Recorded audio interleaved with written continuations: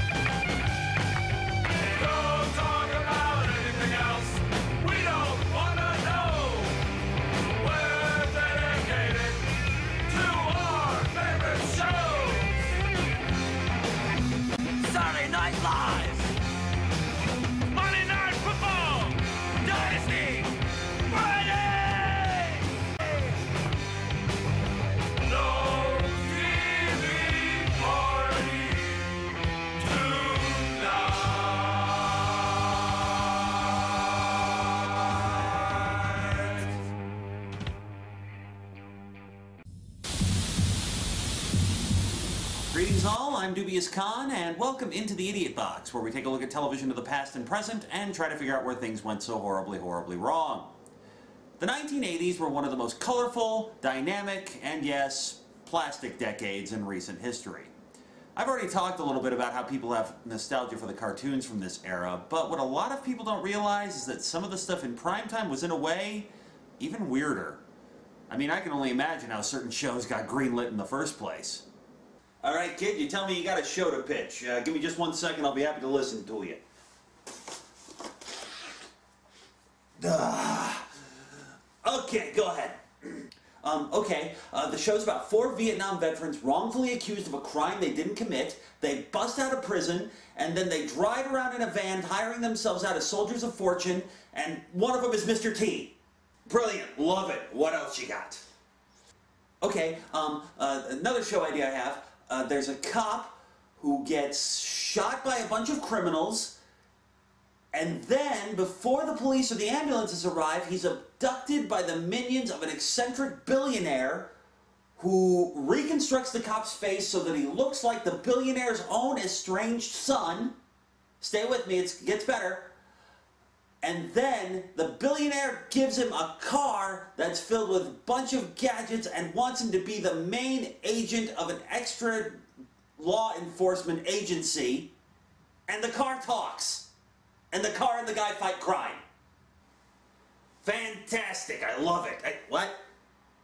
Okay, kid, the purple monkey on the sofa says I got enough to fund one more show. Wow me.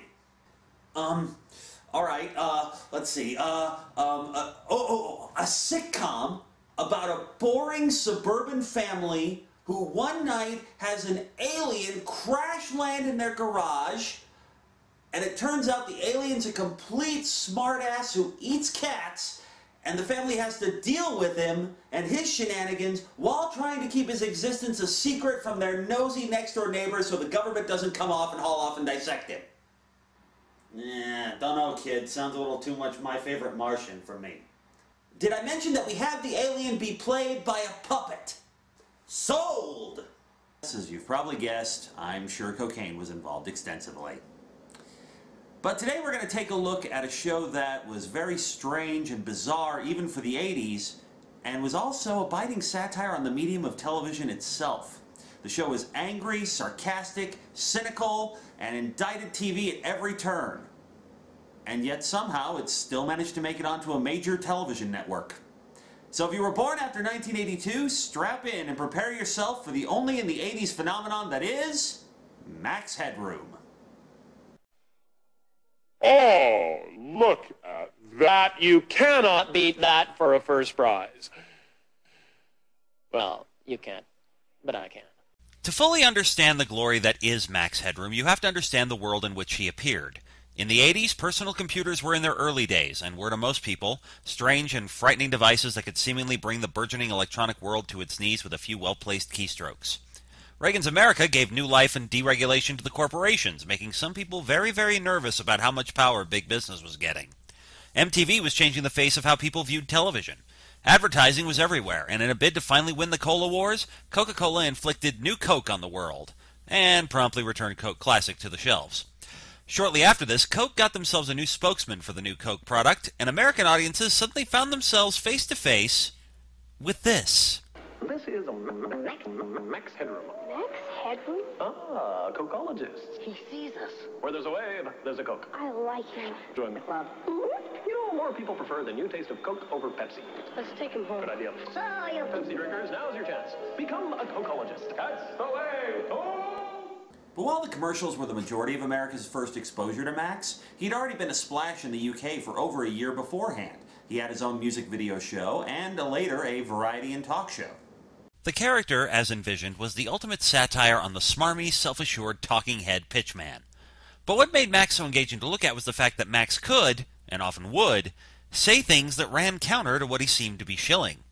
Well, these rock things are all very well if you like them, but you know, no ordinary people like you and, well, ordinary people like you oughtn't to be afraid to speak up for classical music. In any event, Max's creators, Rocky Morton, Annabel Jankel, and George Stone, came to realize that sooner or later people were going to ask where this strange, talking plastic head, allegedly computer generated person had come from in the first place. So they decided to answer the question with a short, made for TV film. The original film, Max Headroom 20 Minutes into the Future, aired on the UK's Channel 4 in 1985. The film also aired later in the US in 1986 on Cinemax, who had picked up the talk show version of the Max Headroom show, springboarding Max's appearances as a Coke pitchman, and his resulting popularity culminated in ABC deciding to take a chance on Max Headroom as a full weekly TV series. But what made Max Headroom unique as a TV series, aside from its highly unusual title character, was its equally unorthodox setting. The world of Max Headroom is a cyberpunk dystopian future where television runs everything. And I mean everything. Politicians are elected on the basis of the ratings of whatever network decides to back them when election time rolls around. Those accused of crimes could find themselves standing trial on a game show. TV sets are found everywhere, even being provided to the poor for free if they can't afford one, and they cannot be turned off. Ever. By law. The show makes it clear that these days there are over 10,000 channels, all airing globally, all vying for ratings. Ratings, of course, equal power, and that power comes in the form of advertising revenue. And in this case, the big prize is the advertising budget of the largest corporation in the world, Zigzag. As we discover in the pilot episode, Zigzag has currently thrown its might behind Network 23, the highest rated network in the world. And one of the reasons for Network 23's success is Edison Carter, played by Matt Frewer. Edison is a hard hitting, minicam toting, crusading investigative reporter who is the best known newsman in the world. And one of the things that makes him so hard hitting is that he has no problems going after his own employer if something shady is going on. And as it turns out, something shady is going on. Network 23 has been experimenting with a new form of advertising, blipverts, which compress a 30 second commercial into 3 seconds. Seems like a good idea to prevent channel switching, except there's one small problem. Bryce, is there any way to explain this side effect? Oh, yes, it is rare but explicable. See, the human body has millions of nerve endings. Each carries an electrical charge. Individually very tiny, but in combination, surprisingly large. Now, normal people just burn this off in exercise, but in active people, it sort of builds up. Now, because I designed blipvertisements to compress a 30 second advertisement into 3 seconds, it seems that the brain violently stimulates all these nerve endings simultaneously. In some viewers, this seems to cause a short circuit throughout the body, and some particularly slothful perpetual viewers literally explode. Pretty simple, really. Well, there's a new threat to keep kids from watching too much TV. Irving, if you don't stop watching television, your eyes are going to fall out of your head, and then you're going to explode. And I'm not paying to clean the upholstery again after your sister went last week. Blipverts are the brainchild of Network 23's head of R&D, boy genius Bryce Lynch.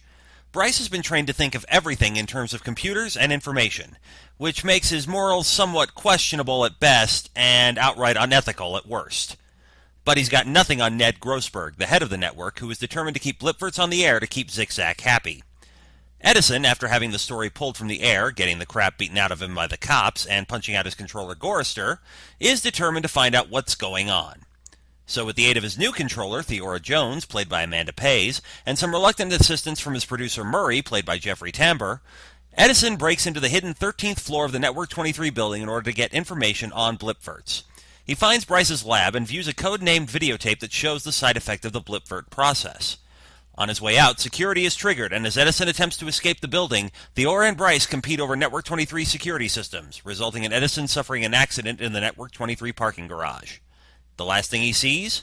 A barricade labeled Max Headroom 2.3 meters. In Bryce's lab, Grossberg tries to get Bryce to come up with some way to find out what Edison saw in the lab. Bryce suggests using his new computer generated people program to scan Edison's brain and ask the simulation what it knows. The results do not go according to plan.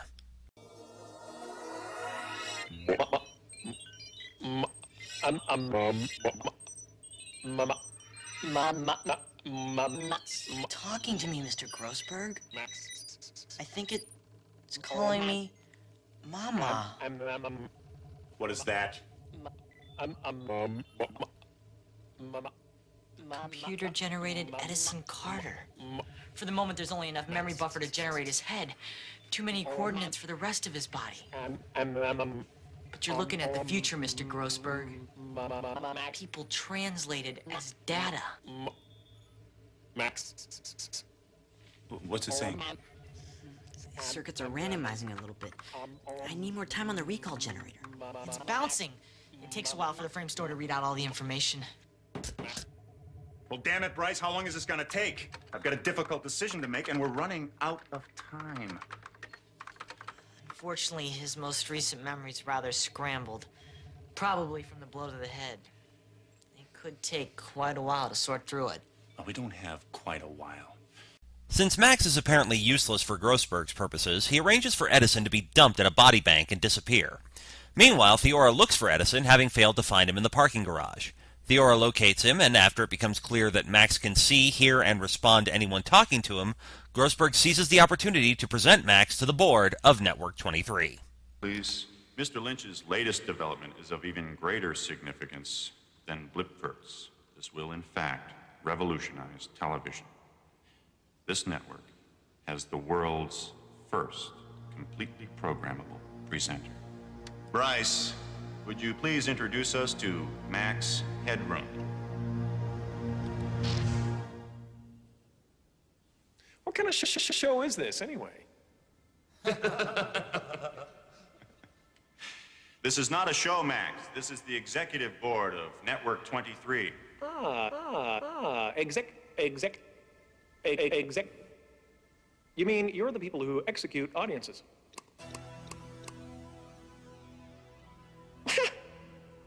Uh, this, of course, ladies and gentlemen, is just a completely computer generated person. Yes, t- t- t- tune into Network 23, the network that's a real mind blower. And I love, love, love, love, love, love those blip, blip, blip, blippers. That's enough. Bryce. Thank you. Happens every time, doesn't it? You try to simulate your top investigative reporter who you've just tried to murder to find out what he knows, and the next thing you know, that simulation's blabbing everything you've been doing to your coworkers. Grossberg freaks out and demands Bryce erase Max. Max, of course, doesn't take kindly to this and vanishes into the Network 23 mainframe and on the air. You know, I get the feeling there's a lot of faces out there watching me. And I can tell you it brings a lump to my ratings. Yes, this is Network 23, the net, net, net network that puts you right. where they want you to be. Meanwhile, Theora and Edison try to get more proof about the Blipverts killing people. Edison breaks back into Bryce's lab when Bryce is there and tries to get Bryce to help him take down the Blipverts. Where's the Rebus tape? I'm afraid Mr. Grossberg's got it. Was there another one? There was only one. He's right, right, right, right. But you don't need one. You saw the tape, it's in your memory, therefore it's in Max's memory. Max? Max. Max Headroom. Max Headroom. He's a computer generated person based on you. He's not perfected yet. But everything you saw is in his memory. Hi, Max. Hi, hi, Max. Edison, we can record Max's memory on camera, and we'll have the Rebus tape. Armed with Max's memory of the Rebus tape, Edison confronts Grossberg, and the resulting scandal gets Grossberg tossed off the board, allowing Ben Cheviot, played by George Coe, to become the new head of the network. And Max? Well, as it turns out, every time Max hijacks Network 23's transmissions, the ratings jump. Plus, as is revealed in a later episode, they can't just go in and erase him because it would effectively shut down the entire Network 23 mainframe because everything is connected. So, Max is allowed to keep his autonomy, and Edison has another great story. Of course, the true genius behind this show is the satire behind the cyberpunk. Television may rule, and computers and surveillance technology may be in the king's cabinet, but all other forms of technology are stagnating, and the people are not far behind. The unnamed city the show takes place in is run down, overcrowded, and dying. Thousands of people live in the fringes, the burned out ruins on the outskirts of the city. Additionally, there is an entire subculture known as blanks, people who have no official records in the system. As such, if a blank is arrested for a crime, or arrested even if they haven't committed a crime, it's not likely the system will be kind to them. Were you zipping into Network 23 transmissions from Big Time? Do me a favor, girl. There's not enough power in that bus to zip up me trousers, never mind a network satellite. I don't think you understand the severity of this charge. Network zipping is a prime offense. Sir, I understand one thing, darling. Someone's trying to frame me. And when I find who, I'm going to unilaterally murder the swine. watch your threats. We are being monitored. Now, we might have a chance as long as you aren't a recidivist. Me? No way. I can't even spell it. Oh, yes, I almost forgot. Allow me to introduce you to one of the greatest characters ever to come out of 80s cult TV behind Max himself. Say hello to the concentrated awesome that is Blank Reg. Blank Reg and his partner Dominique run Big Time TV, a very small pirate TV station broadcasting out of a pink bus in the fringes. Reg and Dominique have proven useful several times to Edison during the show, and have also provided some of the best comic moments in the series. This is a network linker. It's a bit out of your league, isn't it, Paula? So, what do you trade for it? Hmm.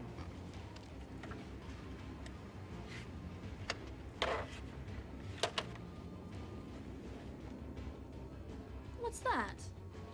It's a book. Well, what's that? It's a non-volatile storage medium. It's very rare. You should have one. Stuff it! How much and what for, son? Twenty creds to sleep and dream. You should be fabulous, dear. Oh, punk dream. Heavy metal, mate. Music of the angels. Brandy of the damned. Punks of the world you not want. Look, give it a bit of the welly. Hey, hey, ah! We don't want to insult you by bargaining over such a small show. So here's the bottom line. Network 66 will buy Whacketts from uh, Big Time in exchange for a single payment equal to 1.2% of the adjusted ad revenue net gross, after taxes, surtaxes, and excise taxes, in installments over 36 months and amortized against all future network losses in perpetuity. Yes. But will it be enough to make me happy? Well, I wouldn't have thought it would take much. Ow!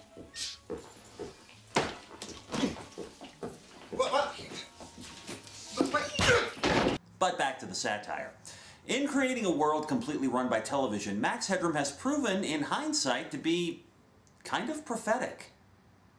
Amongst other things, the show predicted the rise of the 24 hour news cycle, reality TV, news being packaged as entertainment, high risk extreme sports, and the pervasive nature of TV affecting politics. Uh, knock it off, Murray. Get to the point. What the hell's this all about? All right, all right. Big crisis. Cheviot's coming in. The ratings look bad. They'll be worried about the election. Ah, ah, ratings! Audi- audi- audiences! You're playing my tu- tu- tune. Give me my own show and I'll roll, roll, roll, roll the airwaves. My ratings would get a baboon, would get a baboon elected. It's this type of satire that makes Max Headroom such a fun show to watch. Granted, the show is over the top and vaguely grotesque, but it all works in the program's favor. However, back then in the 80s in the real world, well, that type of biting satire might have been a little more than audiences could comfortably stomach. Max Headroom ran for two half seasons. Season 1 was a mid season replacement that lasted for six episodes, while Season 2 was canceled halfway through with only eight episodes produced. In fact, its final episode, Baby Grobags, never made it to air initially and wouldn't be seen for seven years until the show cropped up in reruns on the Sci Fi Channel. Max Headroom was satirical, angry, and it managed to create a convincing world where television had crowded out every other form of storytelling. How about you? Do you know what a movie was? My mom told me about it once. Didn't you have to pay for it or something? Mm-mm. Is it about standing in line? Does anybody else know?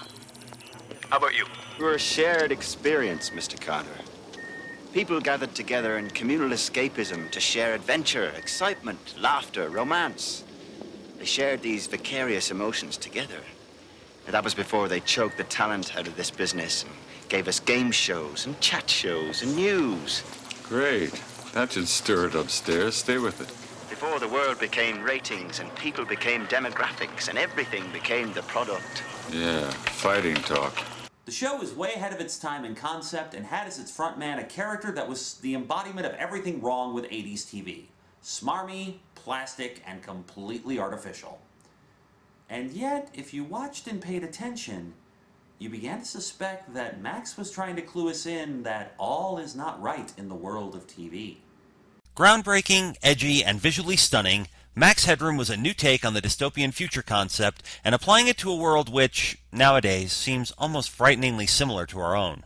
Scriptwriter Steve Roberts has said that the world today with social media, smartphones, and Wi Fi would be ripe for the return of Max Headroom, who could, thanks to today's technology, now appear literally anywhere. And I can't help but think that if the right person could be found for the part, and if the show managed to keep the proper mix of humor, cynicism, and fatalism, it might fare better than the show originally did on its first run. If you're interested in tracking down this series for yourself, Shout Factory released the whole thing on DVD a couple of years ago, making it fairly easy to track down. If you like dystopian sci fi with a twist of satire, I cannot recommend this show enough. Yeah, these days the technology is dated, but you know, the stories, themes, characters, and messages are still relevant even today. And if you don't think anyone would be interested in watching a show about the half crazed ramblings of a disembodied head whom you only see from the shoulders up, what have you been watching for the last 20 minutes? I'm Dubious Khan. Join me next time for another trip, a trip into the idiot box. Box. Box.